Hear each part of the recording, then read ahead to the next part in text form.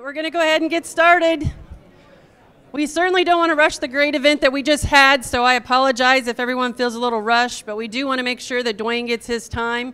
What he's about to talk about is very important to the future of Westgate, so we want to make sure we give him some time. So I want to welcome you all to Purdue at Westgate's first Tuesday event, or some of you may have known this as News Before Brews. We actually started this in 2017, and we have been doing it ever since. So we, we enjoy it. We have great connections here. We have great people that come. We build relationships. So this is designed as an opportunity for industry, academia, and government innovation to converge, share knowledge, develop networks, and discover opportunities. Today I'm pleased to announce Duane Embree. He is the campus side lead and program manager for Draper Labs within the Tech Park. If you have been around this area for a while, you definitely either know him or you know of him. He has been here for a while, and I'm sure he can explain more, but he was the previous technical director at NSWC Crane and then went on to be asked by Indiana Governor Mike Pence to establish and serve as executive director of the Indiana Office of Defense Development. He has served 35 years as a U.S. Navy civilian, where he helped lead the transformation of NSWC Crane from a naval maintenance and test depot to a national recognized DoD R&D laboratory, engineering and innovation center. One last side note of Duane is that he was appointed the distinguished honor of a Sagamore of the Wabash Award by then Indiana Governor, my, Governor Mitch Daniels.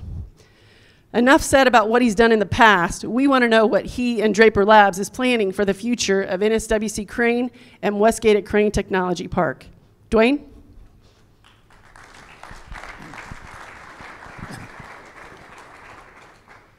Thank you, uh, Samantha. She, what she didn't tell you, she's been after me for four years to come do this thing, and I've been putting her off because I didn't think I had anything to say.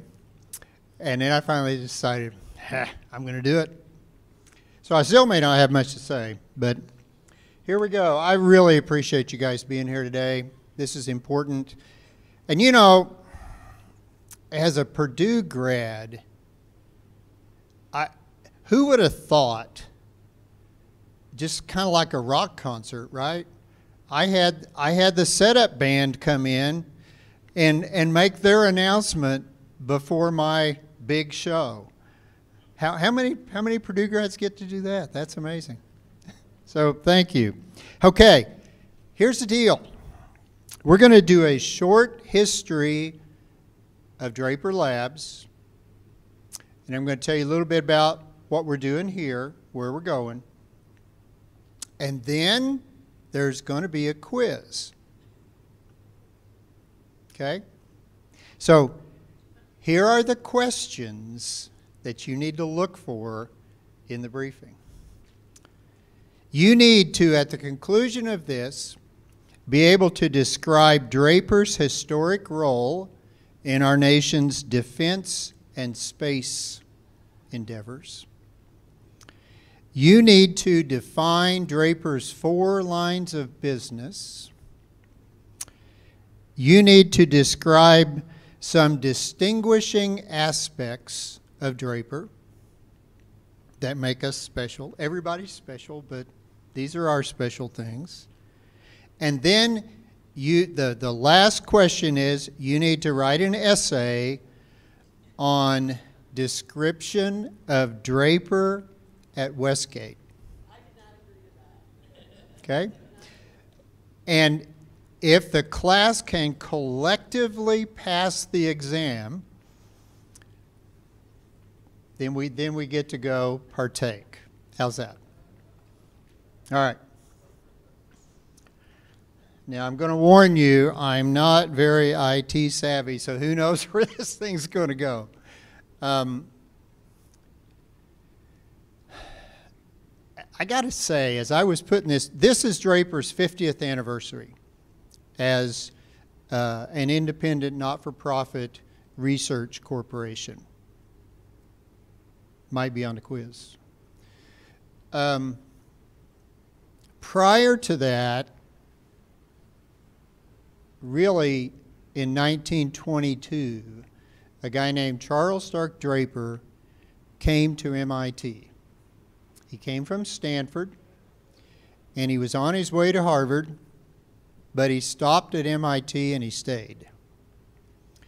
And, and that really changed the course of, of a lot of what we do in our nation today.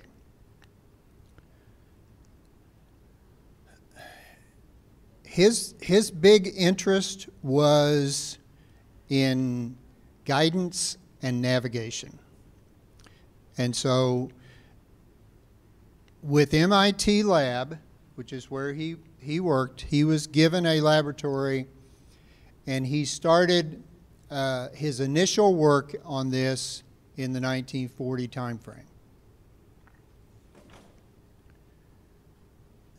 They developed the first gyros, the first accelerometers that all went together to form what is called inertial navigation. And so all that means is you can navigate and find your way and refind your way without referencing to landmarks, which is really important um, in flight.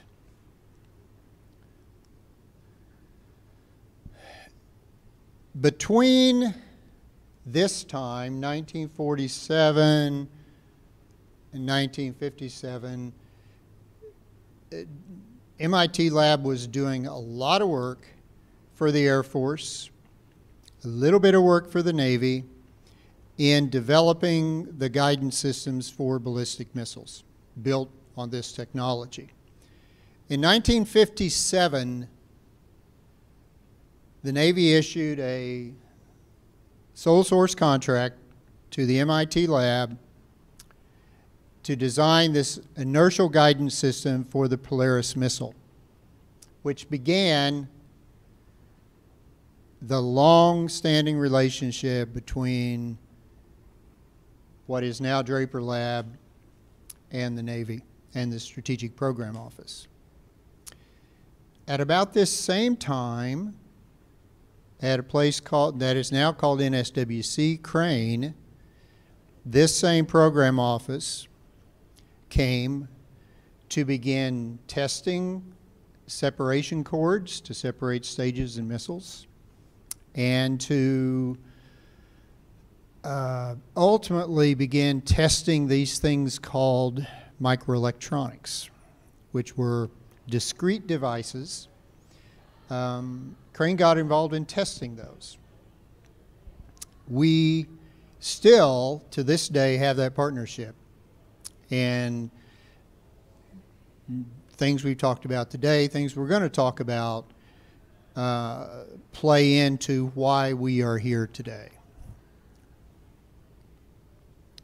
And I, I don't know about you, but it struck me that the Navy led a contract in 1957 to design this missile.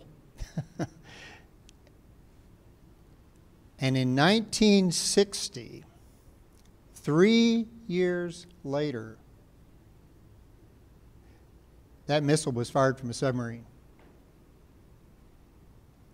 I don't think we could get the safety assessment done in three years. I don't even know if we could get the funding in three years. But it struck me that at this time and for about two decades, the amazing stuff that the people of this country did to position ourselves both in defense and in space. I, mean, it just struck me. So, 1960. 1961, President Kennedy decides we're going to the moon.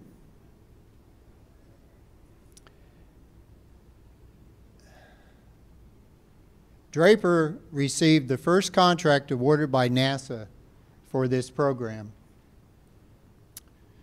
which was for the guidance, navigation, and control system. Look for themes in my brief, which will help you when the quiz comes. Okay? So you've seen Air Force, Navy, ballistic missiles. You've seen NASA, and a common theme might be guidance and navigation. This was cool because this was uh, this was a telegram that the then senator uh, sent sent out. Okay, 1962. 1960, the first missile was fired from a submarine. Two years later, it's in the fleet, and we're using them. I, I'm, I'm struck by the speed that this nation executed.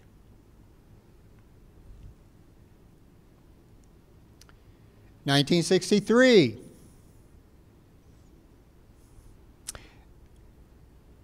The Air Force finally gets theirs to work. First flight of the Minuteman II. Again, with a Draper guidance system on it. 1968, the Apollo 8 crew orbited the moon and came back using a Draper guidance navigation system. 1969, we're on the moon if I remember right, Purdue had some involvement in that.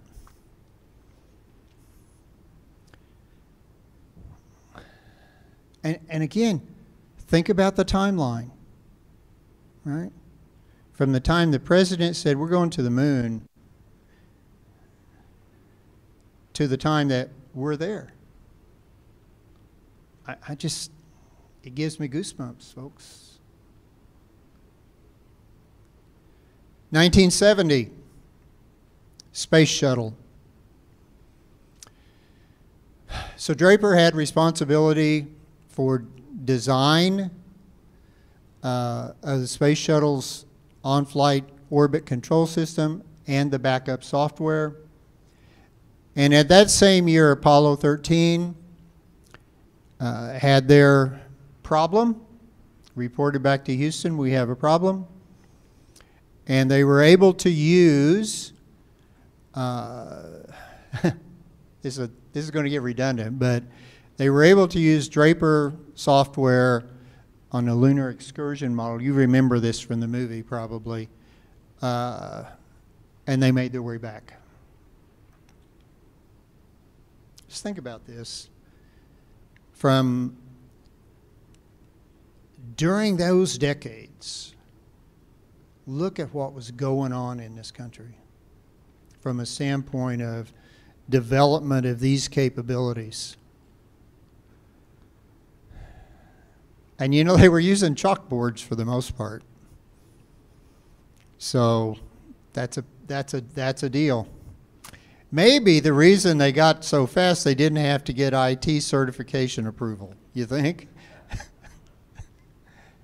every other month. Boom, boom, boom. With a three month delay in between. All right. 1971.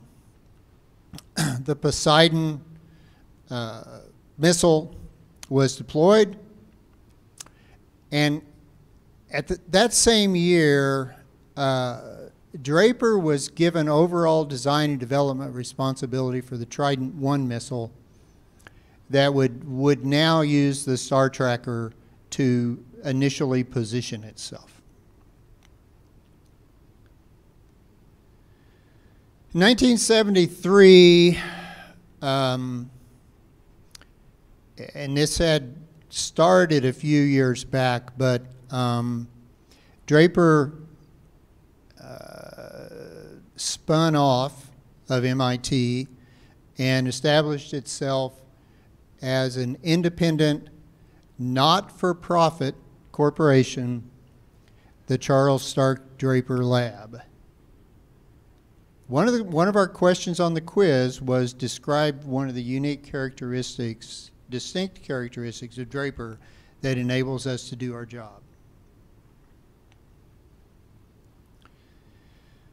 1979, we had the Mark V guidance system deployed on a, um, a Trident 1 on the C4 missile.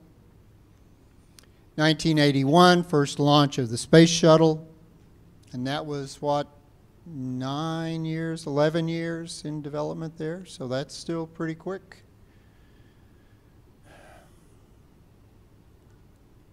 Nineteen eighty-seven. I put this in here because you just never know where something's going to take you. But this was um,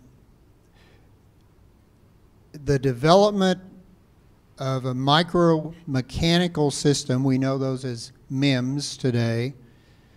Um, a solid state gyro, if you will, that Draper developed.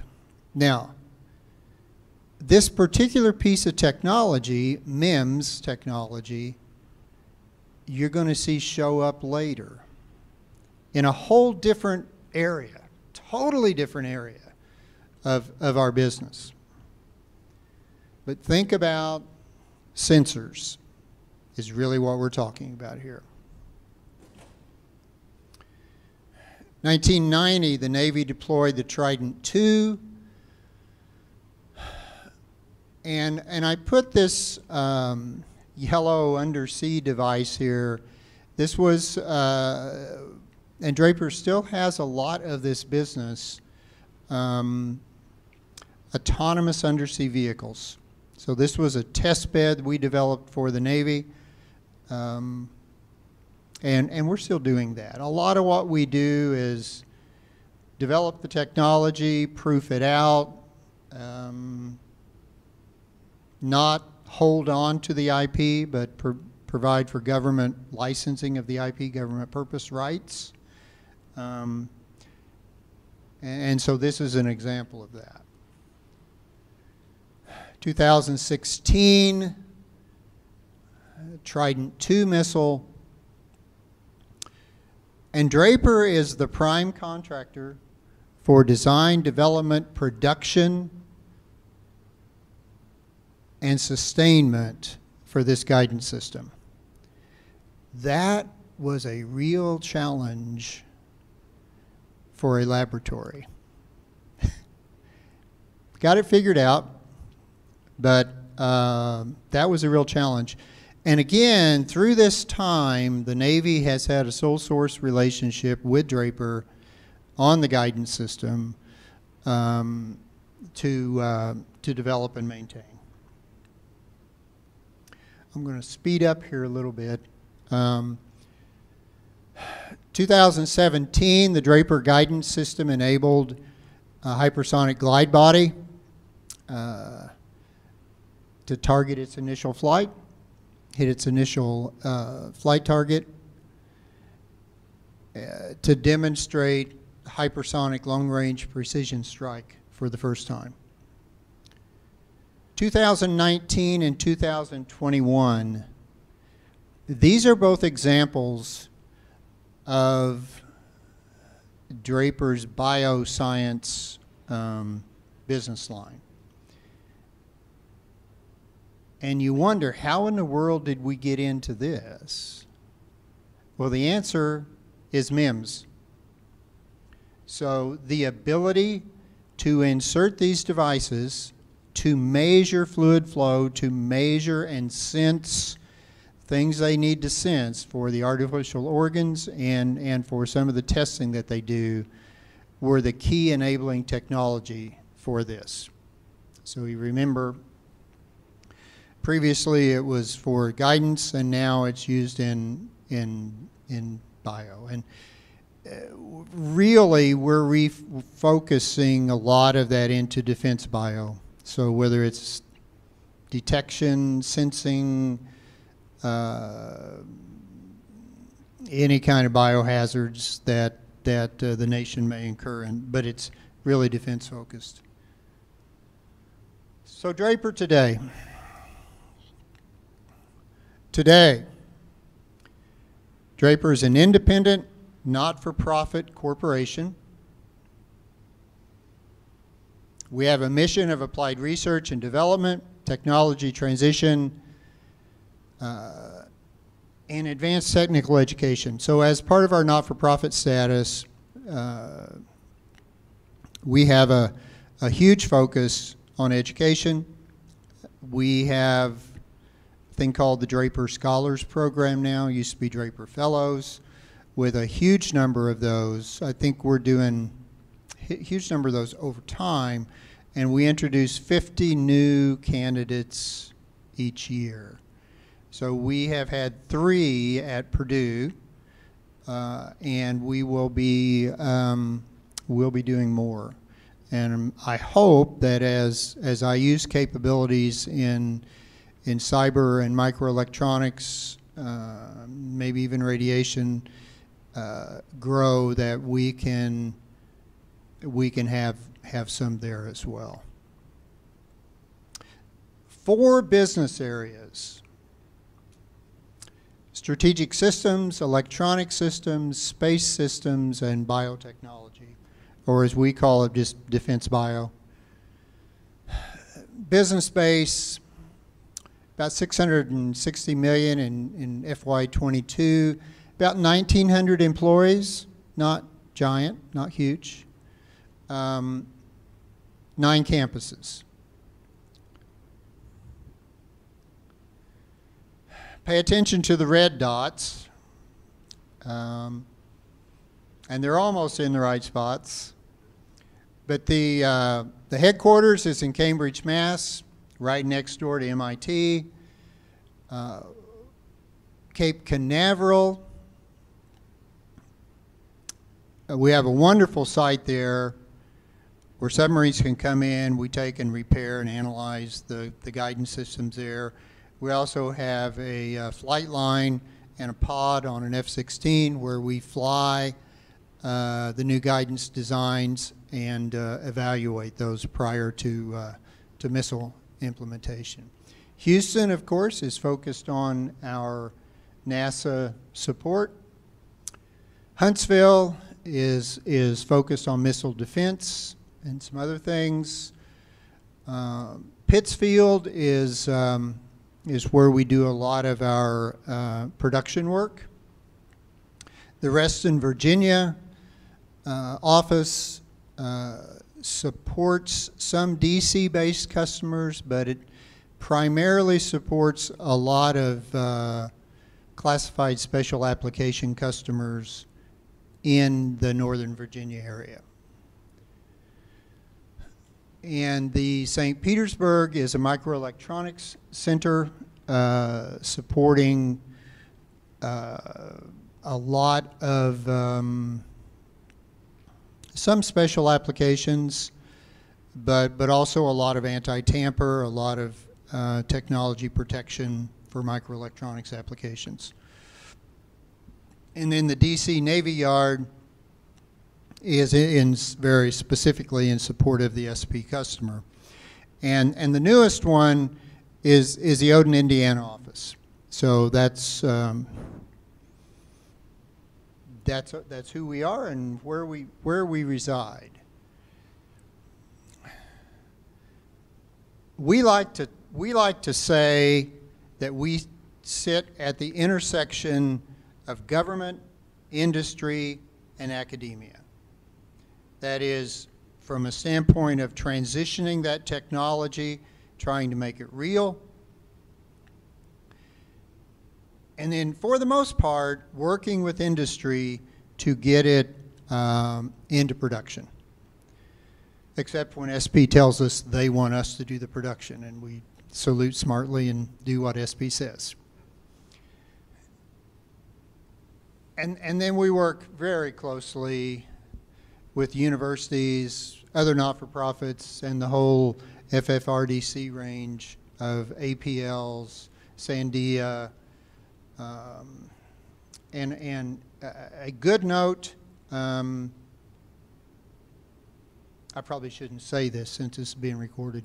Um, there is a lot more attention being being paid now to universities outside of Cambridge, Massachusetts than there has been in the past.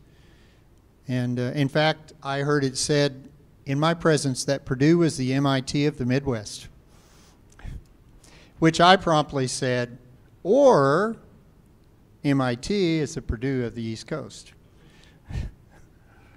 but that's, that's, that's a special arrangement there. And, and um, it's very important uh, as a not for profit, and it's also very important for the quiz. I've got a little video I want to show of, of where we're going. At Draper, we solve humanity's greatest challenges. As innovators, disruptors, scientists, and engineers, we develop technology and solutions to solve the next life-critical mission. With 90 years as precision problem solvers, we're building on our legacy to protect our customers and the nation.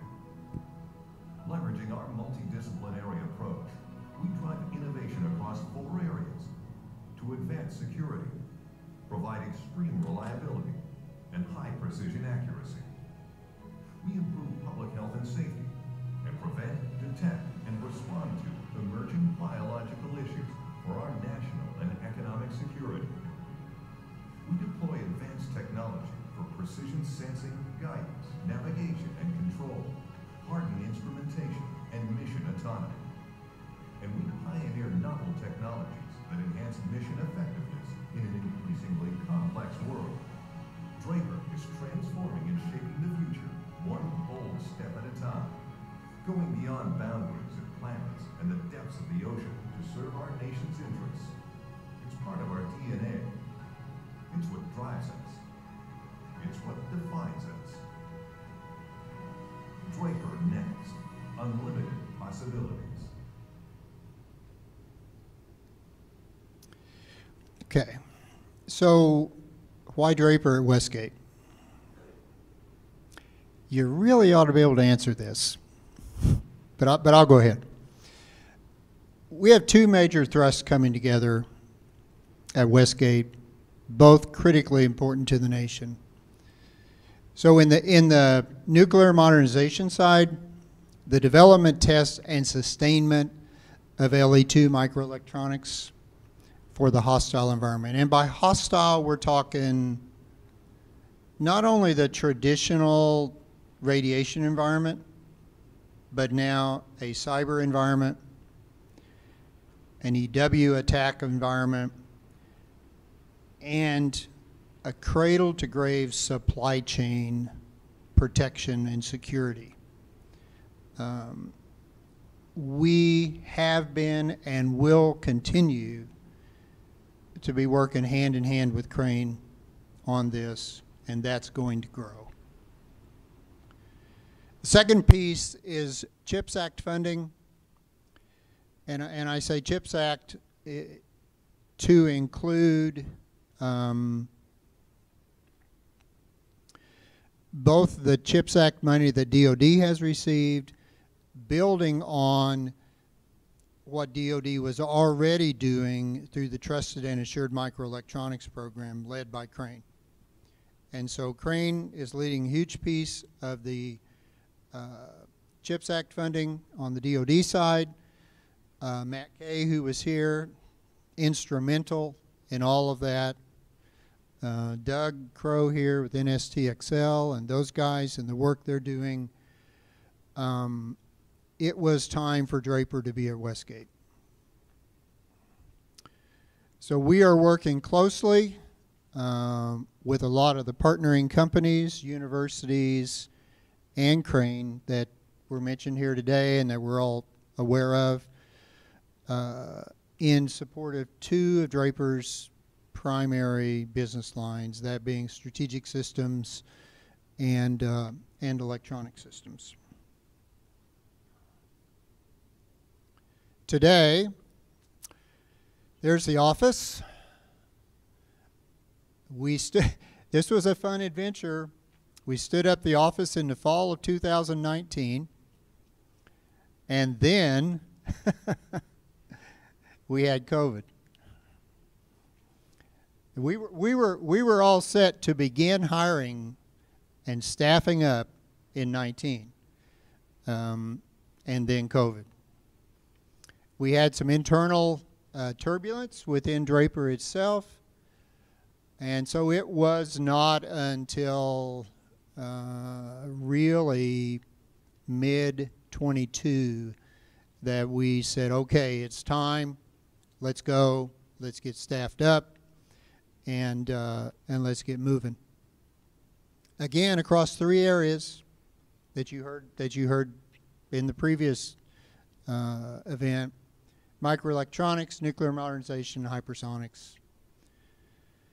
We're currently staffed at 12 engineers. Uh, we expect growth over the next year and increasingly over the, the following years in strategics and electronic systems business lines. So uh, the focus, systems engineering and test, electronics design and test, packaging, and radiation effects.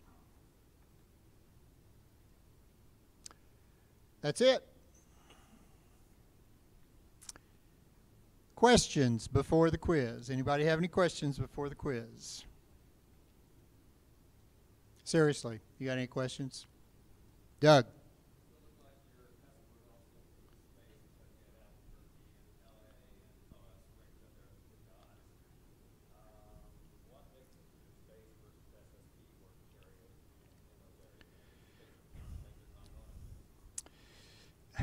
Honestly, um, SP is the they're dominant. Uh, we space space is a lot different than space used to be.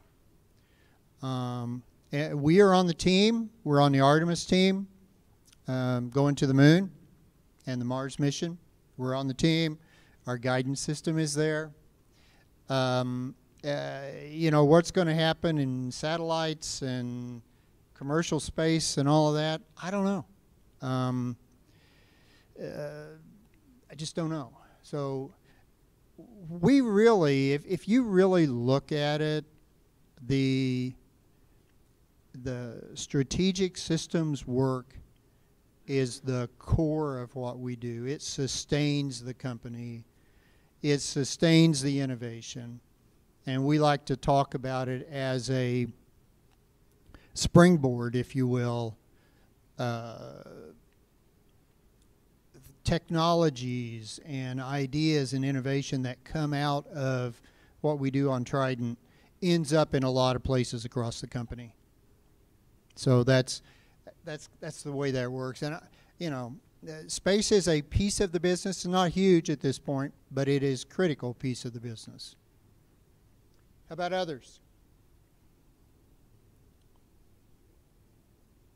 Okay. Yes.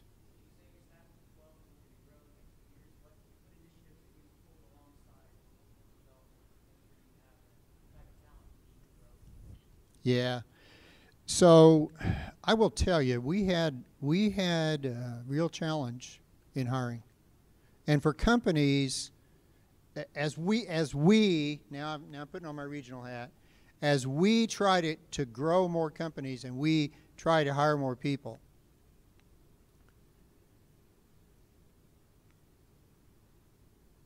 The East Coast, West Coast companies are not really they don't understand this area.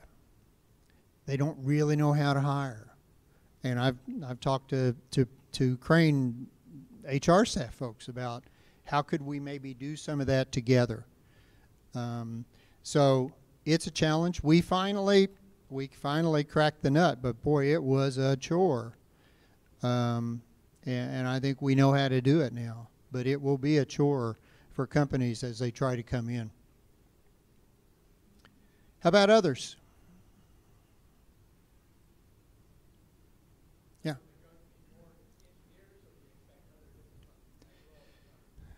It'll be it'll be engineers, scientists, physicists. We're um, we're a deep technical organization.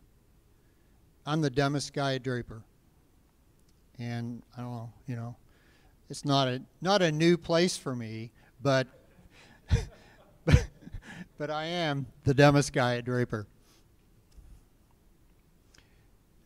John?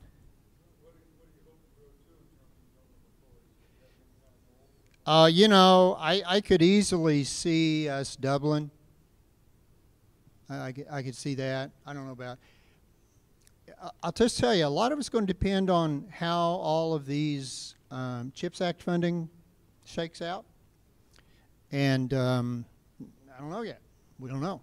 So, uh, but I can, I would expect we could double over the next year or two. Yeah, pretty easily. What does your Draper space look like then?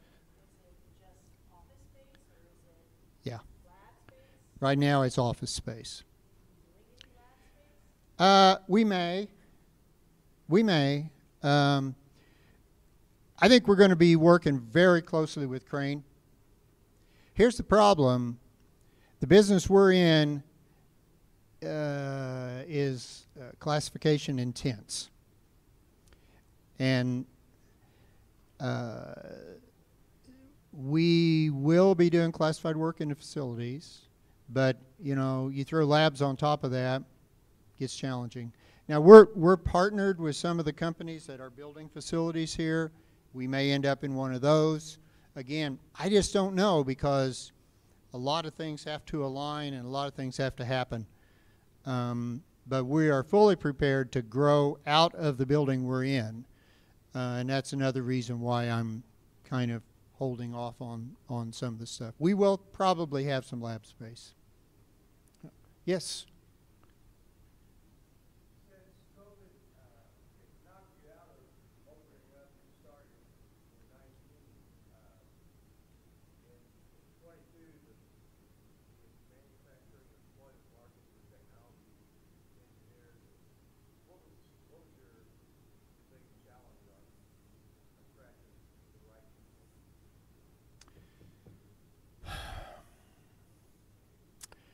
I think the biggest challenge was for uh, folks, a company who has traditionally hired in the Northeast to try to try to get the recruiters, to try to get the consultants, to try to get that machine to operate here. Uh, that really was the biggest challenge. Yeah, we broke it. I mean, we we we we did it, but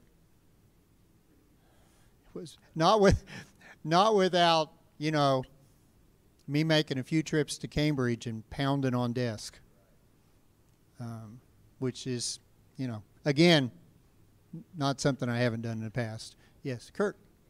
I'm interested in, uh, what I didn't know was the, uh, microphysical, Yeah, physiological systems that you're talking about. Indiana has a huge life sciences industry. I've heard that. Yes. And I'm wondering, in particular, with, uh, uh, this university that has a school of medicine, Yep. where that might, uh,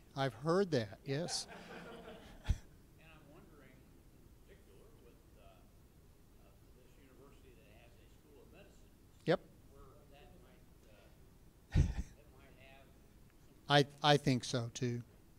We've had some initial discussions, but you know, just the pace of events over the last several months has prevented us from really mapping that out. But I think it's time.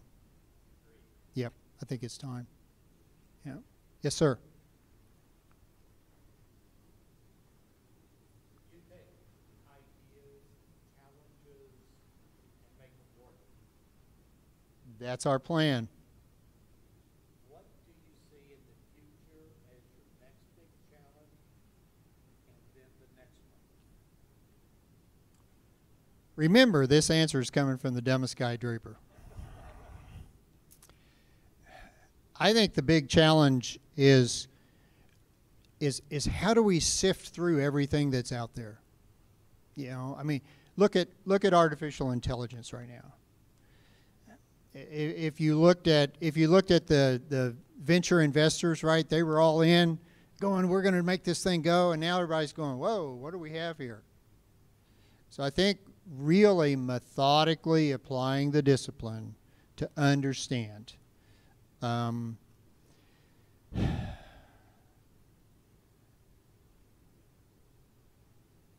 how do how do we how do we do innovation and how do we keep it open so the nation can take advantage of it right? That that's a that's a challenge. Uh, the technical stuff we have a lot of technical people who know how to do that. Um, but I think I think those are those are some of the things that are that we're going to have to sort through yeah from the dumbest guy Draper Any other? You guys are stalling because you don't want to take the quiz. yes.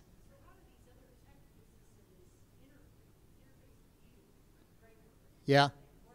Yeah. So um, sometimes we um, contract directly to them, right? Uh, sometimes we're a subcontractor. In the case of the Air Force, we're a subcontractor to the prime. In the case of Crane, for example, and some other government activities, we are both funded by the sponsor, SP, and and so uh, we have we have some work directly funded by Crane in microelectronics development um, and technology protection uh, through the the uh, OSD Trusted and Assured program. Most of the relationship with Crane is direct funding from the Navy customer, which they fund us, and they fund Crane, and we partner. So, and then we have some collaborative efforts with some of the um, FFRDCs, like the, uh, you know, the Applied Physics Lab, um, Sandia. So it, it just varies. All right. Anything else? Okay, it's quiz time. Quiz time. Okay. What is Draper's historic role in the nation's defense and space business? Toss up question. Guidance and navigation for space, both aerospace for for missiles and rocket ships, right? And moonlanders. What are Draper's four business lines?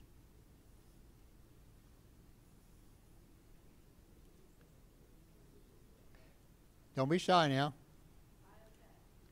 Biotech, strategic systems, electronic systems, and space.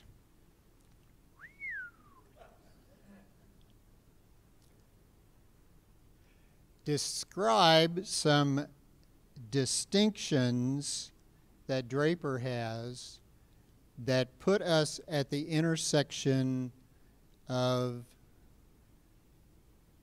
academia, industry, and not for profits labs. Kirk. Independent, not for profit corporation. Yes. Describe, and since we're running out of time, I won't make you do the essay, we'll just talk about it.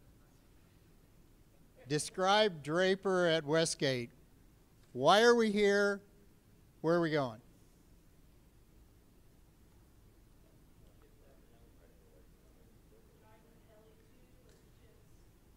Okay. Yep. Yep. What's our current staffing level? 12. What are we going to grow to? Who knows? As one of my grandkids' favorite characters would say, to infinity and beyond. All right. Hey, thank you. Been a great audience. Hopefully, you know a little bit about why we're here and what we're doing and a little bit about our history. So thank you very much.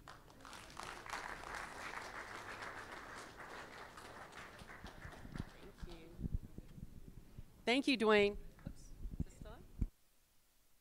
Thank you all for coming. I also want to let you know that the recording and the slides will be sent to anybody that's RSVP'd. If you haven't RSVP'd, make sure that you get with our marketing communications manager, Morgan Tavis, and get put on our distribution list because you don't want to miss any of the other events that we have here.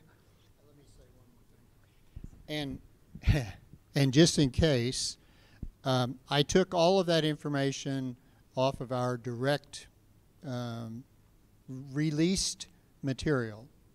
So I tried not to deviate much, at least on the slides, from from that. So it is generally um, CUI and specifically all proprietary. Just just so you know. All right. Thank you. As for the lawyers. So yeah, get get with Morgan or even myself if you want to be added to the distribution list. A couple events that we are going to have in the near future. Next first Tuesday, so you know we do this every first Tuesday. We're actually having Ashley Bronner. She is actually from Leidos slash Dynetics. I think it's formerly Dynetics, or they're moving from Dynetics in the hypersonics area. So she's going to be here speaking on what they're doing and maybe their potential presence here uh, within the tech park or at NSWC Crane at some point. So, also tomorrow, we are having a lunch and learn here. Tom Weiniger, who is back there in the black shirt, if you don't know him, Weiniger Construction, Westcott Properties, for the first time, there's housing developed here in the tech park. It is right down the road in Scotland, Indiana. He's done a fantastic job of putting multiple units up there. Several other people have actually started to lease there, rent there. Uh, some of the other microelectronics companies that are coming in here, they have had presence that are that are going there. So he is having a lunch and learn tomorrow with a bank that specializes in first-time home buying. So if you're interested in that, 11 to 1, come here. We'll we'll make sure that you get to the right room, and you'll get a voucher to go to the food truck and get some lunch. So we want to invite you to do that. Uh, another first two no excuse me another event that we will be having a future event. October 24th we haven't officially announced it yet but we're going to announce it right now. We're going to have a microelectronics day here. If you've been here in the past for some of the days that we've done we've done cybersecurity day autonomous day. So we get 150 to 200 people here vendors panels speakers. So we're going to have a microelectronics day because we have to. There's no doubt that this is where it's happening. So we have to do that. October 24th you'll get a save the date for that um, I got one more thing. This is for you. So, in the midst of our struggling to hire, Samantha was heroic in getting our jobs up on up on your site, which I know a lot of people went to. So somebody asked that question. These guys did a great job helping us get that word out in this circle. So thank you. Thank you, thank you. That was that was actually Morgan and a former person here put a job board together, which is phenomenal. So, but we did have weekly calls with Draper. Uh, they wanted to understand the places down here to potentially market to. What is the language that's being used down here? Eventually, they it led to retooling their descriptions, their job descriptions. They were looking for a lot of specialty type that they realized they could train for, so they, they changed their retooling a little bit, so that helped out a lot as well. So, uh, just one last thing, I uh, just want to make sure that everyone knows you have been here before. If some of you have been here before, this is obviously a growing area, growing region, and you have just witnessed another opportunity that is happening within the tech park. I've seen him for four years now and didn't have any idea what he was doing over there. So he's led me to believe that he has been doing something over there. So, so I appreciate him coming here. Thank you all for coming.